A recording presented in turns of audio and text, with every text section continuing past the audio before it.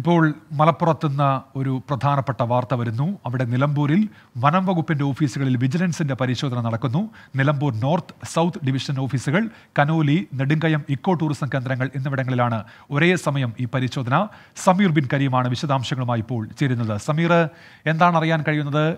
എന്ത് വിവരത്തിന്റെ അടിസ്ഥാനത്തിലാണ് ഇത്തരമൊരു പരിശോധന സമീർ?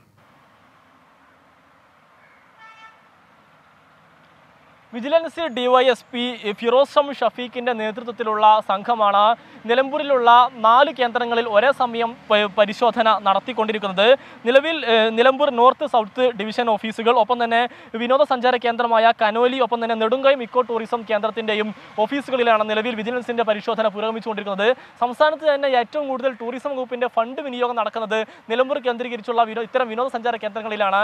ഇതുമായി ബന്ധപ്പെട്ട് എന്തെങ്കിലും തരത്തിലുള്ള ക്രമക്കേട് നടന്നിട്ടുണ്ടോ എന്നുള്ളതാണ് പ്രധാനമായും ഈ വിജിലൻസ് പരിശോധിക്കുന്നത് ഒപ്പം തന്നെ വിനോദസഞ്ചാര കേന്ദ്രങ്ങളിലെ പാസുമായി ബന്ധപ്പെട്ടും പരിശോധന നടക്കുന്നു. നേരത്തെ ഈ കനോലി പ്ലോട്ടിലൊക്കെ തന്നെ ഒരു മാസം മുന്നേ മാത്രമാണ് ഈ സന്ദർശകർക്കുള്ള പാസ് ഇലക്ട്രോണിക് രൂപത്തിലാക്കി മാറിയത്.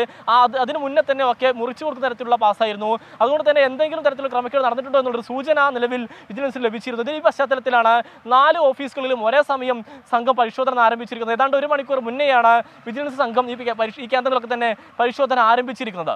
ഉന്മേഷ്. ശരി സമീർ ബിൻ കരീമാണ് വിവരങ്ങൾ നൽകിയത്.